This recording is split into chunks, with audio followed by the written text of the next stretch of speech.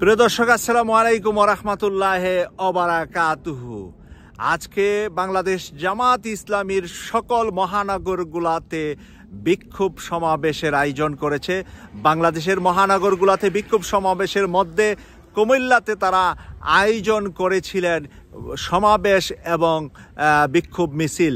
কিন্তু বাংলাদেশের প্রশাসন, কুমিল্লার প্রশাসন কুমিল্লা টাউন হল ময়দানে কুমিল্লা জামাত ইসলামী মহানগরের আয়োজিত এই সমাবেশকে হতে দেন নাই, পারমিশন দেন নাই, সেই জন্য তারা কুমিল্লাতে বিক্ষোভ সমাবেশের আয়োজন করেছে এবং বিক্ষোভ সমাবেশটিতে আমরা দেখেছি যে হাজারো হাজার মানুষ যুক্ত হয়েছে কুমিল্লাতে এবং বিক্ষোভ সমাবেশটি শান্তিপূর্ণভাবে শেষ করেছে কুমিল্লা জামাত ইসলামী মহানগরের পক্ষ থেকে এবং কুমিল্লার এই সুন্দর সুশৃঙ্খল সমাবেশ থেকে তারা সরকার পতনের আন্দোলনের ডাক দিয়েছে এবং কুমিল্লা তাদেরকে যে সমাবেশের পারমিশন দেয় নাই, সেই জন্য প্রশাসনের নিন্দা জ্ঞাপন করেছে।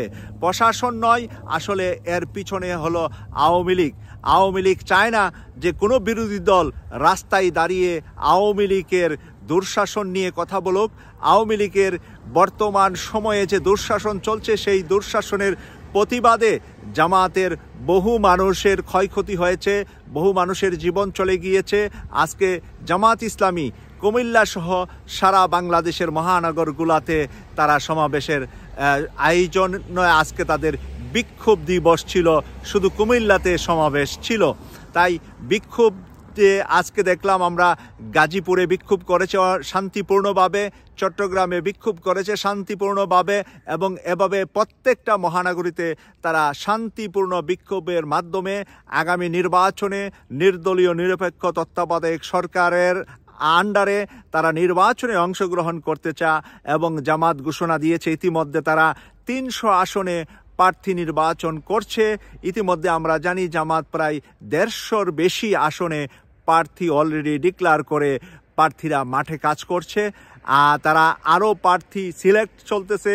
তাদের গণতান্ত্রিক পদ্ধতিতে প্রত্যেক ইউনিটে প্রত্যেক এলাকায় তাদের নির্বাচন চলছে।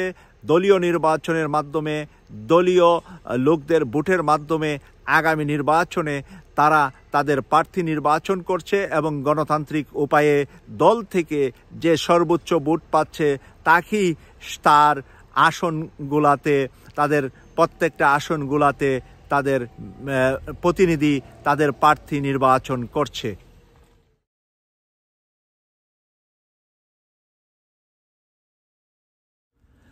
প্রিয় দর্শক, আমরা জানি যে জামাত ইসলামী আগামী তিরিশে জুন বাংলাদেশের প্রত্যেকটা জেলা সদরে তারা বিক্ষোভ সমাবেশ করবে এবং পহেলা আগস্ট ঢাকায় সমাবেশ করবে।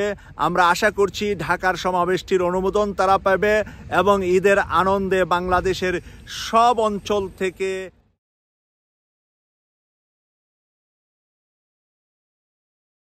নেতাকর্মীরা দলে দলে অংশগ্রহণ করবে এবং এই সমাবেশটি হয়তোবা একটা মহা সমাবেশের রূপ নিবে। জামাতের যে সমাবেশটি পহেলা আগস্ট দেখেছে এবং নেতাকর্মীরা উৎসাহ, উদ্দীপনার সাথে কিন্তু অপেক্ষা করছে পহেলা আগস্ট ঢাকার সমাবেশে যোগ দেওয়ার জন্য। আমরা আশা করি যে পহেলা আগস্ট বাংলাদেশ সরকারের প্রশাসনের পক্ষ থেকে জামাতকে সেই অনুমোদন দিবে এবং জামাত সেই অনুষ্ঠানটি তারা শান্তিপূর্ণভাবে তারা একটি ঢাকায় সমাবেশ করতে পারবে।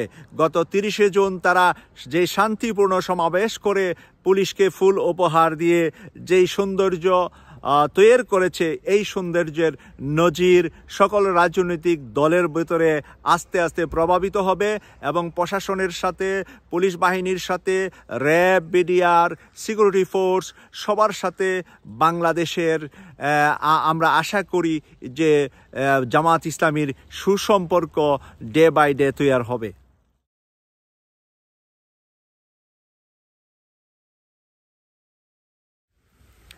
আমরা আশা করব ঢাকায় আমরা একটা সুন্দর সমাবেশ দেখতে পাবো পহেলা অগাস্ট জামাত ইসলামীর পক্ষ থেকে এবং আমরা আগামী তিরিশ তারিখে আশা করছি যে সারা বাংলাদেশের জেলাগুলোতে জামাতের সুশৃঙ্খল বিক্ষোভ সমাবেশ হবে এবং জামাত ইসলামীর কার্যক্রম আজকার আজকের রাজনীতির মাঠে সবার মুখে জামাত কিন্তু আলোচিত।